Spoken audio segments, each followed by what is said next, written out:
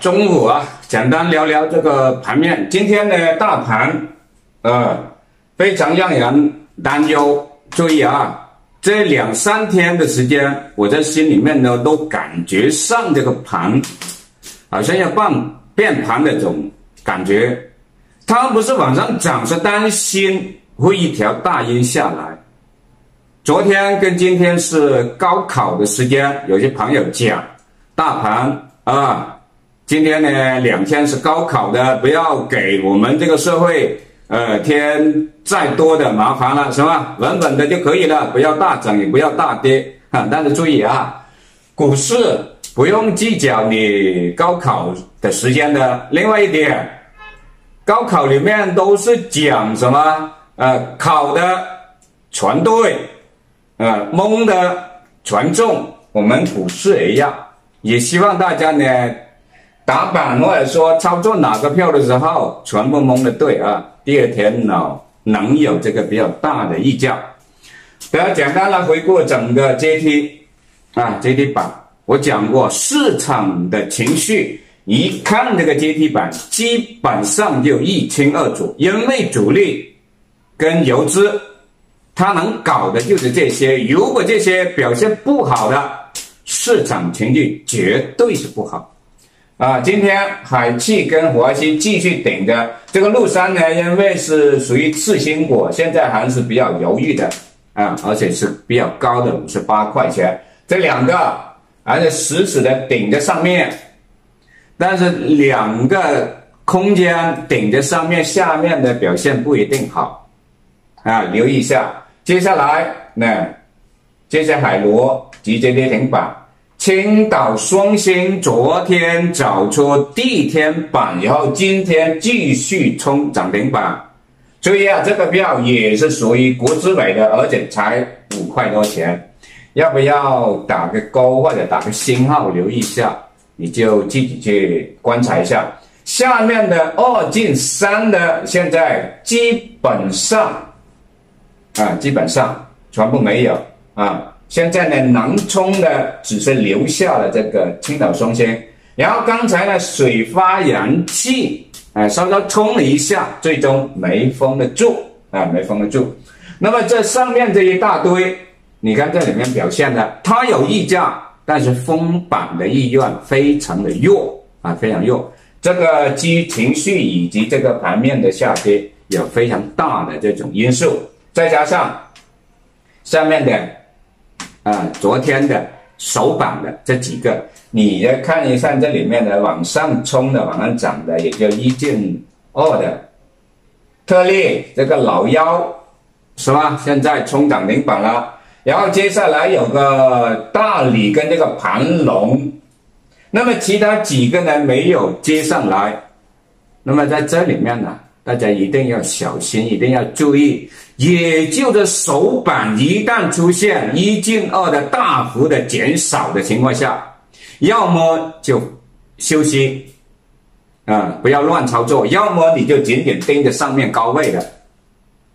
不要去过多的去考虑呀哪个哪个吸筹之类的。按我们打板的韭菜打板的这里面的，它一进二的，如果是。大幅度的减少，基本上就休息啊，或者说在弱势的时候，把目光盯上高标票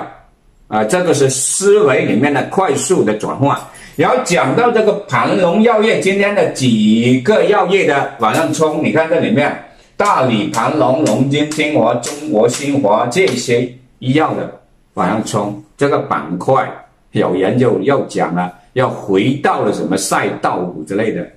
啊，注意一下。那么讲到盘龙以后呢，今天呢要讲一个板块，就是可转债的，看看今天可转债的表现。连续几天可转债呢，都经常出现了几个票连续集结盘中停牌的涨停牌的，啊，一次、两次、三次停牌。所以呢，这两三天随着这个盘面、大盘这个位置的敏感，基金越来越谨慎，而有相应的一些呢，啊，超短的基金就集结坡向了这个可转债 T 加零，也就操作的时候快进快出，而且今天呢冲的最最明显的就是这个盘龙变化最大啊，大家不妨来看一看啊。今天这样冲的，从这三块多的位置啊，三三百八十二块啊，大概这个位置，然后呢就一拉上到这里，差不多十个点，要到这里面，也就是说从三百八十二左右就拉到了这个多少？这个位置四百八十八，三块三百八十二，四百八十八，差不多一百块钱。是吧？所以呢，这个票呢，今天呢这样猛的拉的话，你注意啊，在每一个快速的区间里面，可转债风险是非常大的啊。但是你一定要注意啊，利用好它的 T 加零的交易规则，快进快出啊，一进去咬一口得了以后马上溜，如果一进去不得的话，也快速撤出来。先稍稍休息两分钟，再去做。基本上有些朋友呢，操作的时候就是一分钟到五分钟之间就完成一个操作啊。因此这里面对于可转债的，为什么出现这种呢爆炒呢？我们回顾以前的两个幺啊，一个是英科啊，英科转债，一个是航河转债，这两个是前段时间可转债的两面。非常妖的两个票，啊，特别是英科，啊，而单日里面呢涨幅比较大的就是航河，一炒以后爆炒以后呢，就受到了上层的这种呢，呃，问询或者出了相应的这种呢监管，也就市场弱到一定程度的时候，可转债就会出来兴风作浪，啊，这些真的是妖。啊，因此呢，在这里面呢，今天出现这种暴涨情况下，连续出来，然后看到盘面这样往上跌的情况下，这一批票，这一批债，你就一定要留意看它的往上冲，要注意啊，相应的停牌的位置，百分之二十、百分之三十、百分之四十，有关这些点位的位置，你一定要小心。